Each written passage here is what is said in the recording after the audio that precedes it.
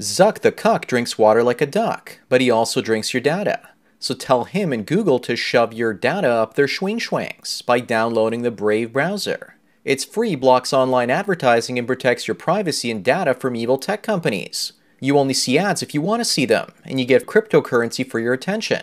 Don't let Zuck use you to make a buck. Download Brave by clicking on the link down below.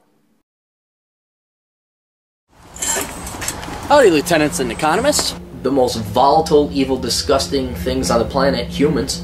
If you have a video request, you can always go to assholeconsulting.com. Yeah, I am gonna charge you, kids. And that is the importance of not fucking up. You are such an asshole!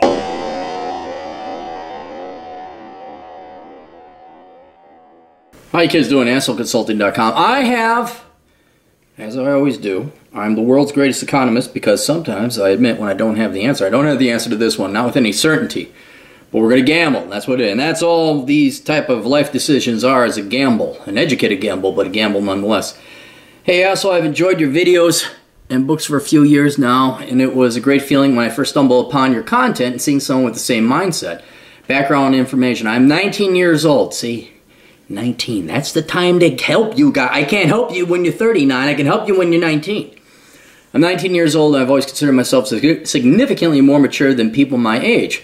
I'm currently a reservist in the military as a medic and through the military basically got paid to become an EMT and it is what I do in the civilian side so I make decent money for my age. College student become a licensed paramedic. Oh. What about my grandpa was a medic in the military and he became a um, a funeral home director. How about that? A mortician. He went and got mortuary science. He was he was gainfully employed. Um, being an EMT, I'm halfway there with no debt and haven't touched my GI Bill. Have a truck I paid for cash and live with my parents as I take care of my mom. I plan to become a fire paramedic, sixty thousand plus salary. What do you mean plus salary? Oh, plus I see. It's over sixty thousand.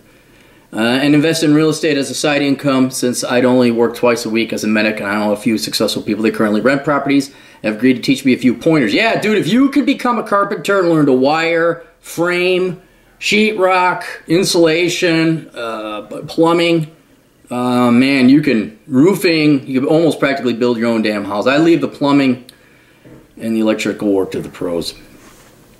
Um, the thing is, I've met what I believe is the perfect girl. I know I'm going to sound like a typical dumb 20 year old, but I know it's not simply infatuation. Here's some pointers and things to play off of my decision. She's very attractive, and I've had more attractive women after me, but they all had issues that I knew weren't going to play off well in the long run, so physical infatuation is not it.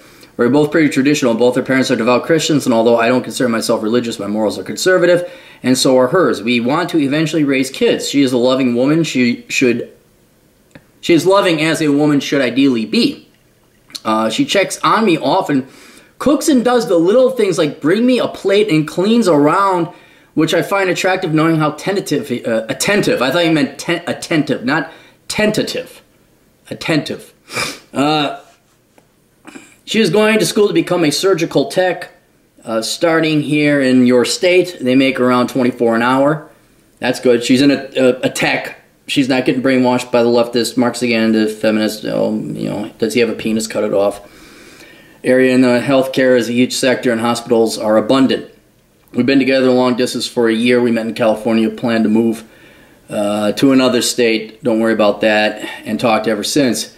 She even surprised me with plane tickets recently to go visit her and her family, which was insane to me, and we had the greatest time. Her family is also very loving. We get along very well. Dad is a great guy and in the picture. What do you mean it doesn't look good? Doesn't get to look any better than that. we never fight. No petty bullshit. If we end up disagreeing about something we talk about and end up joking about it a few months later, doesn't let her appearance get the best of her. Appearance does not affect her personality one bit. Now here are the key things. I'll be deploying mid 2020. Won't have to worry about bills or frivolous spending. What the fuck am I going to spend money on in the desert? She is undocumented. Great. Just can't one over the plate ever, can we, guy? Just not one over the plate. I think this plays a big part in the way she is, as I've come to come to found girls from third world countries. Well, what third? Mexico? I thought you were Mexico, but maybe not. Mexico, second world, solid second world.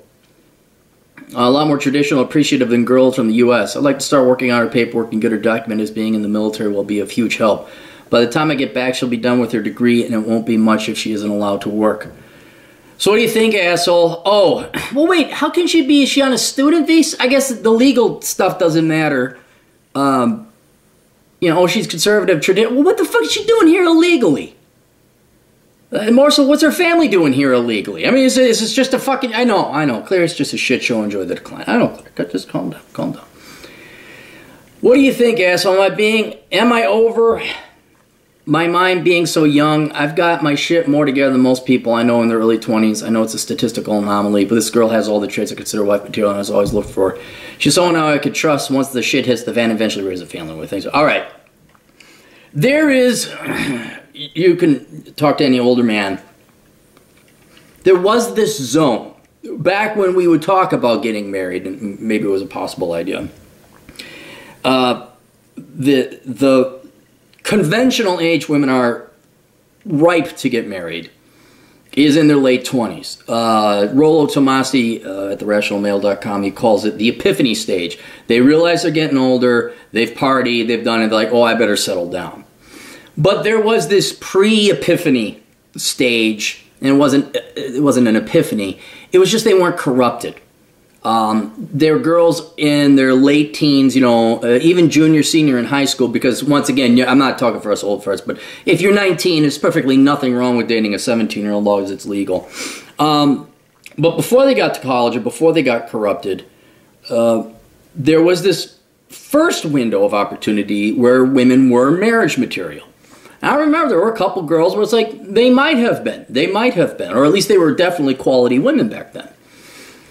If they get into college, not so much because of feminism and indoctrination, although that too, but they're in their career, they get into their zone, their environment changes, then their priorities change, and and on top of it, they're stuck in college where the men they're running into are not real men. I'm not talking college men. I'm talking women go to school for the liberal arts. There's not really any masculine real men there. Those guys aren't going to make quality husbands or be able to support people. And they're not going to go to the IT department because, well, they hate math. You know, and oh, they're nerds. They're squares. All right, fine. uh, point is, by the age of 20, that window has closed for a lot of women. They're no longer that sweet, nice, and innocent um, thing. And it's rare very rare. But it happens. And that's why we talked about that window, although this was 20 years ago, or maybe not 20 years, but 15 years ago. And it seems like this is what you got here. Uh, she didn't go to a four year institution. She was smart. She went and got herself a, a trade and a skill. Um, and then all this other stuff where it's just she dotes on you, she kind of picks up after you a little bit. Take, dude, she likes you. Uh, and this is very rare. Very rare. I've been lucky enough to have this, uh, but it was also very rare. And the key thing is you both are on the same plan. You both want to have kids and you both want to have a family, and you're done with the women. And I don't even think she wants to go bother dealing with the dating and the nightclub scene. Uh, as you pointed out, she is from uh, second or third world and is a little bit more grounded in reality. And since you guys are on the same page when it comes to having children, uh, general life goals, work hard. She has a good uh, skill. Um, you are gainfully employed. You you got your plan, and she seems and you've talked about it. you don't get. She, that's the big thing. You don't fight. That's awesome, man. I mean, it's just wow. She likes you. She gets it. Like, oh, support this guy and not nag him. Holy shit, that is so rare, man. Um, so I'm giving you my official Gen X blessing and that was the official Gen X thing. Only I can do it. It's very complicated. None of you millennials or Zers can. It's just very complicated shit. So complicated, boomers can't even do it. But yeah, you got my endorsement on this one, man. Um, it doesn't. It, it, if if it was, I don't know who who else you would marry if not this person. You're not going to find this again. Not that you were looking. Um, but our Glorious Carl. You may not know him, but Glorious Carl from the olden days. Uh, his son brought home this wonderful woman. Just this. And me and Glorious Cowgirl were like, how the hell, where did he find that one? And we both pulled him up and said, listen, you dumb shit, you better not fuck this one up. That is never gonna happen again. You are not gonna find that girl. She is a sweet, wonderful woman. And, and I, oh, Glorious Carl's uh, daughter-in-law is just a saint, just a saint. Like, you better no fuck, because, buddy, you ain't gonna see this again. And you know what? There is no guarantee. Can't guarantee you shit. I can't. She could just be using you for a green card. It's totally possible. Um, and that's the only one concern I have is that you have not that you've been doing this distance wise. I'd be moving there and living with not with her, but you know, dating, um, you know, living in the same town. You know, have a nice long courtship, longer than you've had now. Uh, so when you get back from deployment, um, you know, I would, I would, you know, and have that chat like, eh, I gotta deploy, I get back. What if I come over here and, you know, uh, you know, then we then we kind of maybe a little bit serious and you know, oh okay, and then you know, you guys have that conversation. But yeah, dude, it doesn't look any better. It really doesn't get to look any better than this. And uh, yeah, I would say if there's a girl you're gonna marry, this would be it. She's in that zone, real legit degree. Is not a spoiled North American Kuanta haha and um, and if this doesn't work, dude, then I don't know what would. Really, I don't. I, I wouldn't know. I'll tell you this: if you don't, uh, you know, if you don't follow up on this to its logical conclusion, whether you get married or not, like give it a shot. Um, if you don't follow up on this, you will regret it because you are not going to find this alignment with with your goals and your ideal. You're just not. It just it just isn't. I don't dare say you found a unicorn, but this sounds like a very nice girl. So, All right, there you go. Questions, answers, assholeconsulting.com. Links down below. Contact. You see, he contacted me before. Before there were problems. That's the time to contact Asshole Consulting. Give the gift of Asshole Consulting. Spread the good word. Check out my books and the links all in the description below. See you guys then. Toodles.